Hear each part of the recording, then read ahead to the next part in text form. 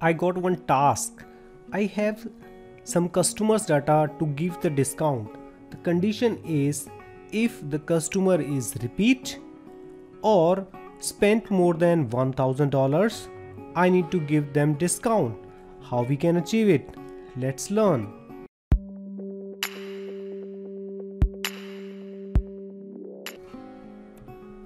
Here I will use two functions if and or.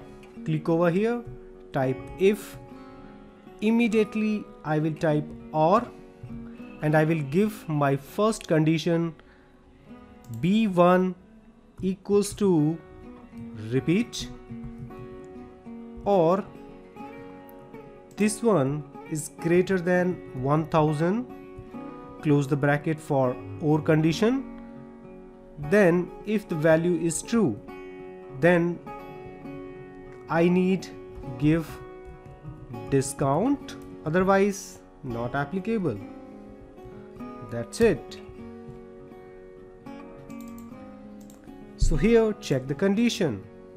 Here the customer is repeat so I need to give the discount. Here also all the repeats. And here it's a new customer and spent less than $1000 so the discount is not applicable. Here it's a new customer but spent more than $1000 so give discounts. That's all my friends.